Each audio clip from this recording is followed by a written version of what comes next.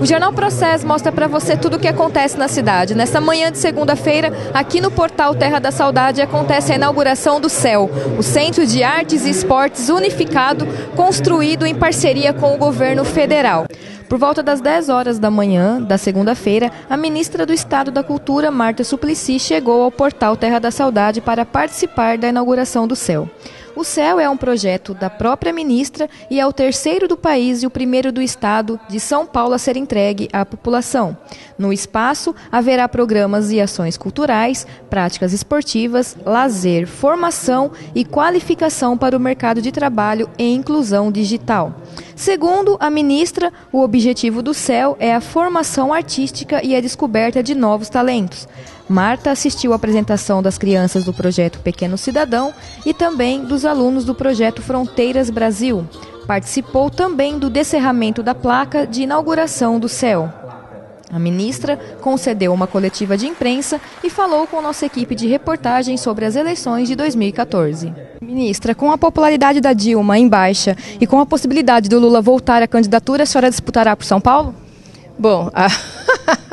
Você tem tanta, tanto CCC, olha, eu acredito que a, a presidenta está numa fase que vai recu se recuperar dessa popularidade, porque vocês tiveram a experiência aqui em Matão, gente. Aqui em Matão, não só nós inauguramos esse céu, mas são milhões, estavam dizendo o prefeito, 53 milhões aqui do governo federal. Então, isso, como ocorre em Matão, ocorre em muitas cidades do Brasil todo. Eu, eu estive há quatro, cinco dias atrás em Roraima e era mesmo mesmo mesmo montante de recurso em todas as cidades. E eu acredito que tem uma recuperação da presidenta.